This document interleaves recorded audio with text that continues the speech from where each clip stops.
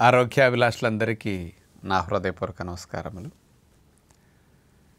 ప్రకృతి ఏ కాలములో ఏది ప్రసాదిస్తే దాన్ని మనం తినటం ద్వారా ఆ సీజన్లో వచ్చే రకరకాల ఇబ్బందుల నుంచి మనం తేలిగ్గా బయటపడవచ్చు పల్లెటూళ్ళల్లో పొలాల గట్ల మీద ఇళ్ళ దగ్గర రోడ్ల పక్కమట తాడి చెట్లు విపరీతంగా ఉంటాయి. తాడి చెట్టును తీసుకుంటే వేరు దగ్గర నుంచి ఆకు వరకు ప్రతిదీ ఉపయోగమే. తాడి చెట్టులో ఒక్కటి కూడా నిరుపయోగంగా ఉండేది లేదు అసలు. అంటే అన్ని అద్భుతమైన లాభాలని ఉపయోగాల్ని మానవాళికి అందించిన గొప్ప చెట్టు తాటి చెట్టు. అంటే చక్కగా వేసవకాలంలో ముంజుకాయలు వర్షాకాలంలో తాటికాయలు చలికాలంలో తేగలు. దాని యొక్క సంపద మానవాళికి ఇంత ప్రధాన ఆహారంగా ఉపయోగపడుతూ ఉన్నది.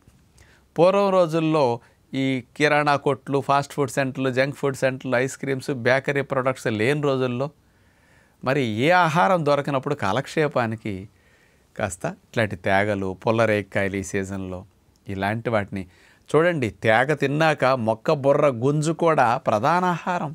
అది చాలా చాలా రుచిగా ఉంటుంది. మొక్క బుర్ర గుంజు. మరి అద్భుతమైన పోషకాలు కలిగి ఉంటాయి. మరి చలికాలంలో వచ్చే తేగలు మొక్కబొర్ర గుంజు వల్ల ఎన్ని లాభాలు ఉంటాయో మీకు తెలిస్తే మరి దీన్నే తెలంగాణ భాషలో గేగులు అంటారు. ఈ గేగులు తేగలు మనం ఎక్కడ దొరికినా వదలకుండా తినాలి. రోడ్ల పక్కమట కూడా కాల్చట్ల పెట్టి అమ్ముతూ ఉంటారు. అందుకని ఈ సీజన్లో మిస్ అవ్వకండి. ఇంకా ఉన్నాయి. మనకు ఒక ఇరవై రోజులు నెల రోజుల పాటు లభిస్తూనే ఉంటాయి ఈ తేగలు. కాబట్టి అలాంటి గేగులు తేగల్ని వాడటం వల్ల సైంటిఫిక్గా ఏం ఫలి ఫలితాలు వస్తాయి ఈ సీజన్లో స్పెషల్గా. మామూలుగా చలికాలం మనకి ఆకలి తక్కువ ఉంటుంది. ఎందుకంటే రాత్రి పొద్దు ఎక్కువ పగటి పొద్దు తక్కువ. ఎండ తీవ్రత తక్కువగా ఉన్నప్పుడు డైజెషన్ మందకోడిగా జరుగుతూ ఉంటుంది. ఈ డైజెషన్ యాక్టివేట్ చేయటానికి తేగలు అద్భుతంగా పనికొస్తాయి. ఈ తేగల్లో ఉండే పాలిఫినాల్స్ కొన్ని ఎంజైమ్స్ స్పెషల్గా డైజెషన్ని చలికాలంలో ఇంప్రూవ్ చేయడానికి అద్భుతంగా పనికొస్తాయని సైంటిస్టులు నిరూపించారు. మామూలుగా ఏదో పెద్దలు చెప్తే అనుకుంటాం మరి సైంటిస్టులు నిరూపిస్తే నమ్మాలి కదా. అందుకని ఇది స్పెషల్గా డైజెషన్ ఇంప్రూవ్ చేయడానికి అద్భుతంగా పనికొస్తున్నది. అంటే చలికాలంలో వచ్చే ఆకలి మందం అజీర్ణ సమస్యలకి చక్కటి పరిష్కారం అన్నమాట. ఈ త్యాగలలో తక్షణ శక్తినిచ్చే కార్బోహైడ్రేట్స్ ఉంటాయి. పిండి పదార్థాలు. ఈ పిండి పదార్థాలు ఎక్కువ మొత్తంలో ఉన్నప్పటికీ తేగల నములతో నోరంతా పిండి వస్తుంది కదా. ఈ పిండి పదార్థాలు వచ్చినప్పటికీ ఒకేసారి రక్తం లోపలికెళ్ళి రక్తంలో చక్కెర స్థాయిల్ని పెంచకుండా ఉండటానికి ఇందులో హై ఫైబర్ ఉంటుంది. ఎంత ఫైబర్ అంటే దగ్గర దగ్గర ఇరవై గ్రాముల వరకు పీచు పదార్థాలు ఉంటాయి. ఈ ఇరవై గ్రాముల పీచులు ఉండటం వల్ల ఇందులో ఉండే పిండి పదార్థాలని రక్తం లోపలకు త్వరగా చేరి షుగర్ను పెరగకుండా ఉండటానికి అంటే షుగర్ వ్యాధి ఉన్న వారు తేగలు తిన్నా షుగర్ పెరగకుండా నియంత్రించడానికి ఇందులో ఉండే పీచులు అలా సపోర్ట్ చేస్తుంటాయి. అందుకని స్లోగా గ్లూకోజ్ వెళ్ళింది అనుకోండి బరువు కూడా పెరగకుండా కొవ్వుగా మారకుండా కూడా మనకు రక్షణ కలిగిస్తూ ఉంటుందన్నమాట. అందుకని ఈ ఫైబర్ బాగా ఉండటం అనేది ఒక అడ్వాంటేజ్. ముఖ్యంగా ఈ షుగర్ పెరగకుండా ఉండటానికి ఈ తేగల్లో గ్లైసిమిక్ ఇండెక్స్ ఫిఫ్టీ ఫైవ్ ఉంటుంది. అందుకని గ్లైసిమిక్ ఇండెక్స్ తక్కువ ఉండటం వల్ల షుగర్ పెరగదు అని సైంటిఫిక్గా ఉంటుందన్నమాట. మరి ఇందులో ఉండే ఫైబర్ ముఖ్యంగా దగ్గర దగ్గర ఇరవై గ్రాములు ఉండటం వల్ల మన తేగలు నములుతాం. బాగా ఎక్కువ ముప్పై గ్రాములు నలభై గ్రాములు పీచులు ఉండే తేగలు కూడా కొన్ని ప్రాంతాల్లో ఉంటాయండి. పీచు ఎక్కువ ఉన్న తేగలు పీచు తక్కువ ఉన్న తేగలు కూడా ఉంటుంటాయి. ముదిరిన తేగలు లేత తేగలు కూడా ఉండుంటాయి. ఇలా బాగా పీచులు ఎక్కువ ఉన్నాయైతే అయితే నమిలేక అందులో వెళ్ళే పీచు చాలా ఉంటుంది. కొన్ని ఊసేస్తుంటాం ఆ పిప్పిని మనం. కొన్ని మింగేటట్టు ఉంటాయి. ఇట్లా ఫైబర్ లోపలికి ఎక్కువ వెళ్ళటం వల్ల ఈ చలికాలంలో ఆహారం తక్కువ తినటం వల్ల ప్రేగుల్లో కదలికలు తక్కువ ఉండటం వల్ల మందకోడిగా ఉంటుంది ఎండ లేనందువల్ల డైజెషన్. కాబట్టి మలబద్ధక సమస్యలు చలికాలం కాస్త ఎక్కువగానే ఉంటూ ఉంటాయి. ఈ మలబద్ధకాన్ని నిరోధించటానికి ఈ చలికాలంలో లభించే తేగలు అనేవి బాగా హై ఫైబర్ వల్ల జాడించి మోషన్ అవుతుంది. మోషన్ వచ్చినప్పుడు కూడా తేగలు తిన్న వారికి తేగల వాసనతోనే మోషన్ వస్తూ ఉంటుంది. తేగలు తిన్న నెక్స్ట్ ఒక five six hours seven hours తర్వాత లేకపోతే నెక్స్ట్ డే మీరు యూరిన్కి వెళ్తే మీరు యూరిన్ పోసినా తేగల స్మెల్ వస్తుంది. దీంట్లో ఉండే స్పెషల్ ఫ్లావనాయిడ్స్ ఇక బ్లడ్లోకి వెళ్ళి యూరిన్లో కూడా బయటకు వస్తుంటాయి. అనమాట యూరిన్ స్మెల్ కూడా తేగల స్మెల్ తెలుస్తూ ఉంటుంది. మిగతా ఫుడ్ను బట్టి ఏదో కొన్ని మాత్రలు మింగినప్పుడు మందుల వాసన యూరిన్ రావటం మనం గమనించాం కానీ ఫుడ్ యొక్క వాసన యూరిన్ రావటం అనేది ఎప్పుడూ చూడరు. స్పెషల్గా తేగలు తిన్న తర్వాత వచ్చే యూరిన్ మాత్రం తేగల వాసనతో బయటకు వస్తుంది మోషన్ కూడా అంతే. ఇది ప్రధానంగా ప్రేగులకి ఇంత లాభాన్ని కలిగించే విషయం. ఇక రెండవది ఇందులో ఉండే అంత ఫైబర్లో కూడా ఈ- సకానికి సగం సాల్యుబుల్ ఫైబర్ ఉంటుందన్నమాట.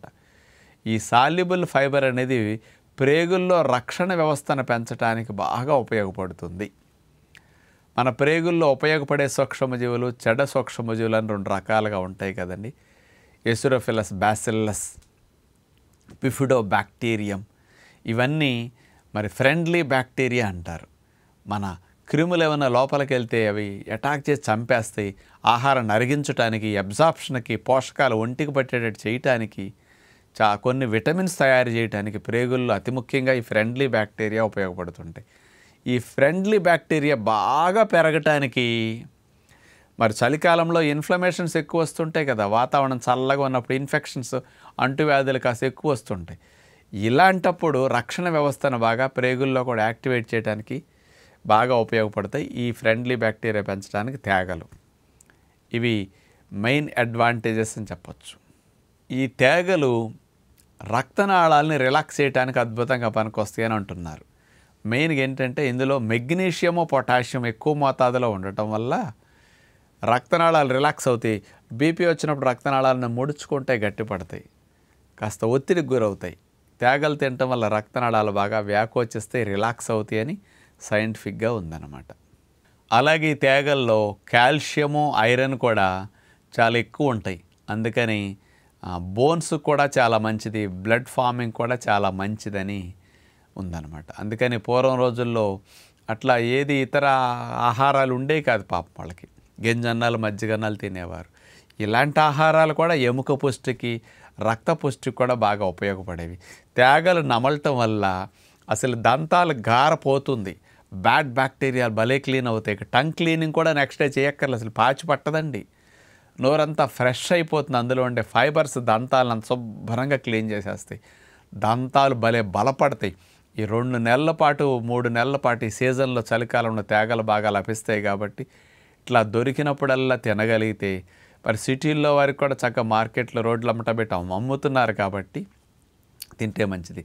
ఈ తేగల్ని రెండు రకాలుగా చేసి అమ్ముతుంటారు. ఉడకబెట్టిన తేగలు కాల్చిన తేగలు మంట మీద నొప్పుల మీద కాలుస్తుంటారు కదా. ఈ ఉడకబెట్టిన తేగలు అందులో నీటి శాతం వల్ల కాస్త సద్దివాసన వచ్చేస్తాయి ఎక్కువ రోజులు నిలవ ఉండవు. ఒక రోజు రెండు రోజుల్లోనే పోతాయి. కాల్చిన తేగలైతే చాలా బాగా నిలవ ఉంటాయి. అలా ఏ రూపాల్లో దొరికినా మనం వాడుకోవచ్చు. ఈ తేగలు తినేటప్పుడు లోపల చందమామ తింటే చదువు రాదంటే తినటం మానేస్తారని చందమామ తినొద్దు అన్నారు. ఎందుకంటే అది డైజెషన్ అవ్వదు కాబట్టి దాన్ని తినొద్దు అది పారేసేది అది ఆకు కాబట్టి. అది లేతగా ఉన్నప్పుడు తిన్నా ఏం కాదు కొంచెం ముదిరినప్పుడు తింటారని పిల్లలు దాంతోపాటు తీసేయమని చెప్పటం కోసం చందమామ తింటే చదువు రాదంటే చచ్చినట్టు అందరూ పారేస్తారని అట్లా బెదిరించడానికి పెట్టిన మాయమాట తప్ప దానికి దీనికి సంబంధం లేదు. చక్కగా తేగళ్ళు తినండి. ఈ తేగలను కూడా కూర చేసుకుంటారు చాలా ప్రాంతాల్లో. మరి ఇట్లా ప్రకృతి ప్రసాదించిన చక్కటి ఆహారాల్ని ఏ కాలంలో లభించే వాటిని ఆ కాలంలో మనందరం తిని ఆరోగ్య సంరక్షణకు మరి ఉపయోగించుకుంటే బాగుంటుందని విజ్ఞప్తి చేస్తూ నమస్కారం.